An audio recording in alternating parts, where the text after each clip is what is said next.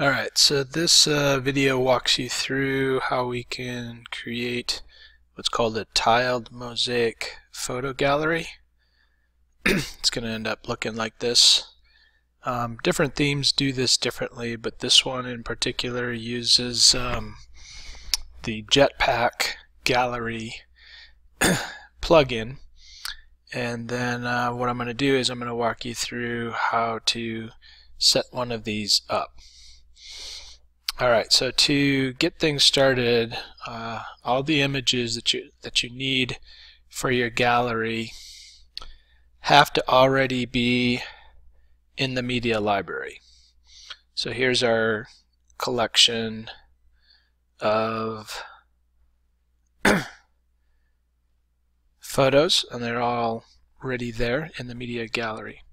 So if you haven't done that already, that would be the first step is to make sure they're in here at the optimal size for retina display.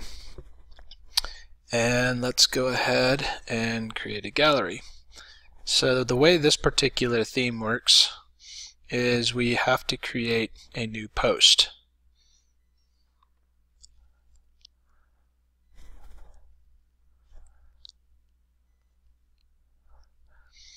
And I think this one, I don't know, we'll just call grand. And then there's another setting that you have to do here. You have to change the format to gallery. Now if you don't see this format uh, option, you, have, you can go to screen options and make sure that format, this checkbox right here for the boxes is checked and that way you can choose it. So this is uh, pretty important because this will pull it into your overall gallery page. Alright, and the next thing we'll do is we're going to add media. So you just have the cursor here in the text area, click add media. Now the files should already be there, but I guess if you hadn't uploaded them yet, now you could. But we're going to go ahead and find the images that we want for that gallery. Um, Looks like we start here. And it's a good idea to add the alt text. Now if you want the title and the file name and the alt text to all match, that's fine. Um, I do go through this step with each of the images. if you wanted to write a different description here, don't do it with the description box, do it with the alt text. You can add a description if it's a lengthy one. Uh, but if it's just a short description, then just do it with the alt text. And um, that's for accessibility, people with visual impairment. Um, you know, I'm not exactly sure what somebody with visual impairment would be doing looking at a photo gallery, but that's alright. We're going to make it accessible anyway.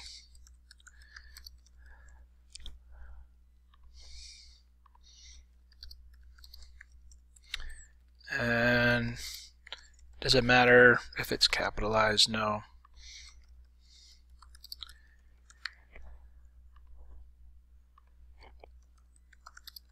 So you get to watch me do all these. And let's see. Um, oh, okay. So I'm, I, make, I made a mistake here.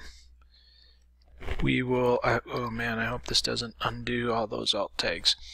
So we need to, I hope those save to all those images. anyway, we need to create a gallery next. So let's go ahead and create a gallery, in which case we're going to choose the images that we want in the gallery. So we'll check. Uh, looks like it did keep the alt text. So you could have done this first and then added the alt text. I did that a little bit out of order.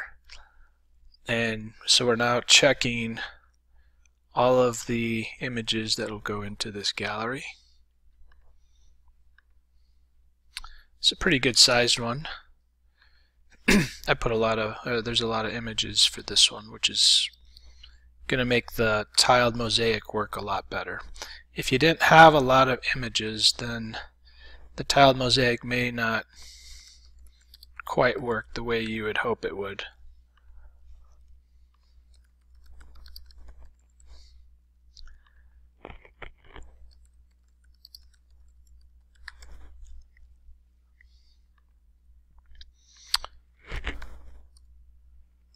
And I just have a few more.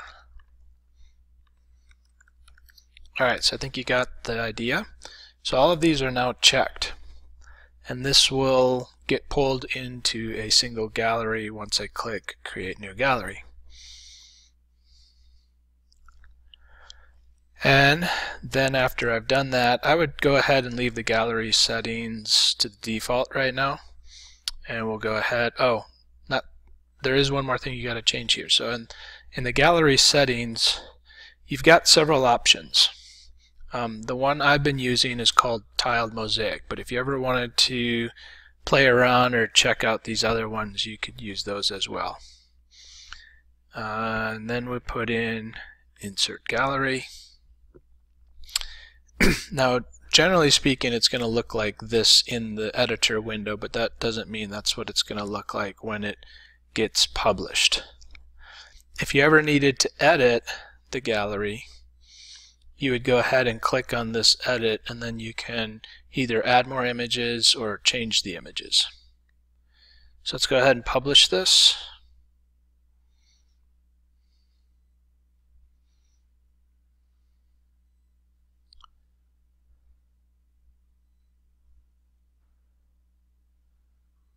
Alright, and as soon as we're done with that, we can view what this looks like. And there we go. And what's cool is WordPress does this tiling automatically. And if you click on it, it starts the tile show. And it takes you through each image one by one. Alright, so that's what it's going to look like. And it even lets people comment on each of the photos. If you wanted to write a comment about each of the photos yourself, you could add that right here. Um, Let's go back and edit the post again. I wanted to show you a few more things that you can do with this. so if we go to text view, you'll see that it put in a short code. And if we wanted to write some text, you can place text here. You can also place text here. So it does give you, you do have the option if you want to write descriptions or uh, write content on these posts. So I'll go ahead and update that to show you what that looks like. We'll go to view post.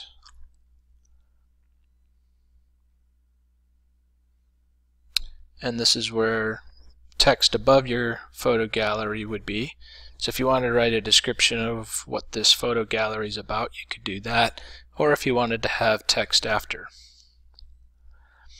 There's also a place where people can leave comments, and then automatically WordPress is going to suggest that you, people look at other galleries as well. Alright, so I'll go back to edit post. I'll take that content out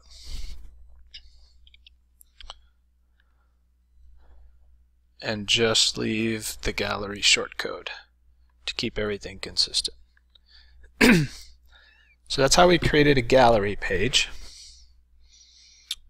And the next thing I need to do is add that to the menu. So if we look at the menu right now, you can see that there's a gallery section. So we want to add uh, our recent one right here. So we're going to come to menus.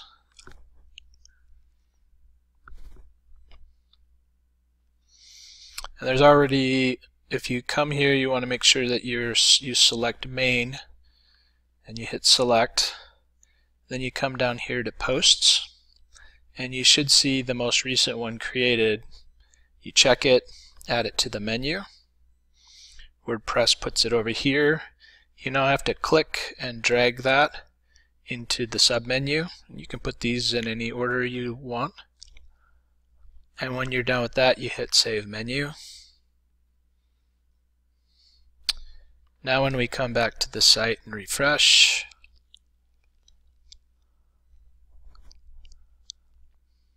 you'll see in the galleries menu that that recent gallery has been added. Now uh, the other part, because when we created the post we chose gallery as a format, it automatically will get added to this thing. But you'll see that right now there isn't an image. So let's go add what's called a featured image. We'll go edit this post. So we're back at the post where we added the gallery. We need to add a featured image. Now I already, I just used one of the photos um,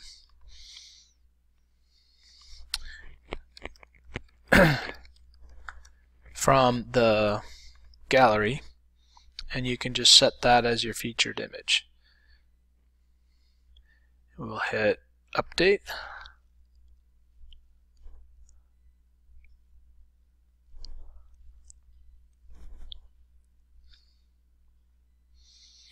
Let's go back and look at the gallery. Alright, so now when we go to the menu and we peep, if somebody just wants to see all the galleries page, now you'll see that the featured image gets included. And now people can go to that gallery from this page as well.